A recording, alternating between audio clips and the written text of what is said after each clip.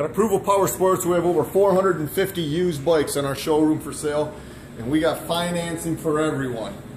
Today we got a 2013 Kawasaki Ninja 650R crotch rocket for sale. This thing's only got 616 miles on it. This bike's like brand new.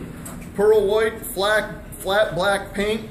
It's one good looking Ninja. This thing's not even broken in yet.